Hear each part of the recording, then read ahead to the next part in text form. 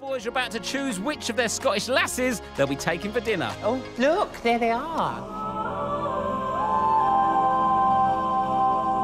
I need a poo. A nervous poo. yeah.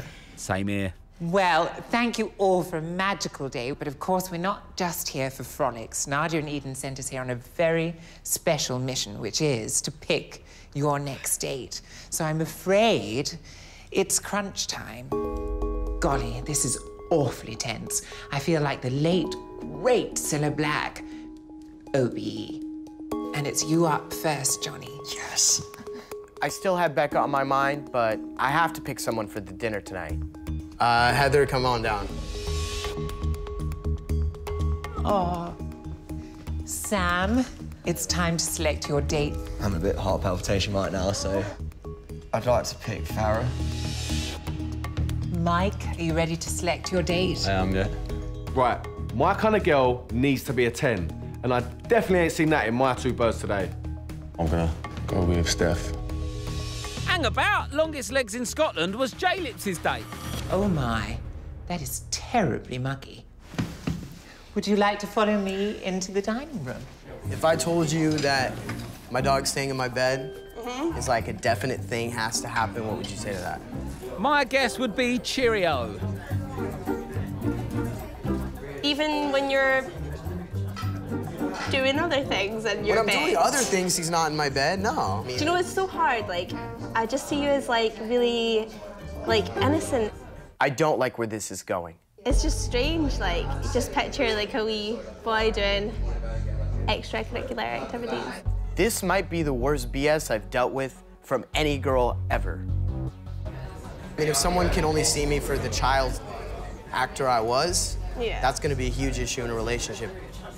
You know what? I've been doubted my whole life, and I've overcome every single thing. Yeah.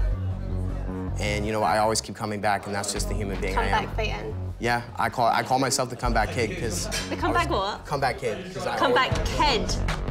Did she just call me a child again? I'm done. I'm out. I don't think really this is gonna go further. Yeah. But uh, thank you for your time. I'm gonna head out. What? Okay, cool. What the fuck happened there?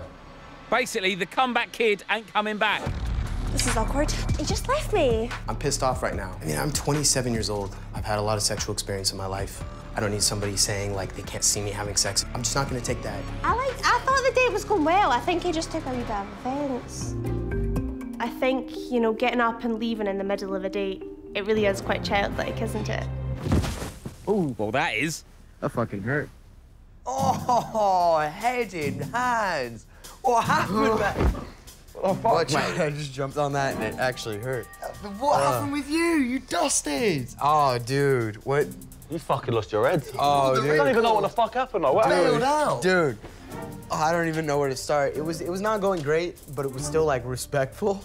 Then she's like, "Well, like you seem so innocent. How can I take you seriously as a man, like you know, sexually?" Oh, and I said, "Like, I go, that is a you problem. That is not a me problem. I'll see you later." And I walked out.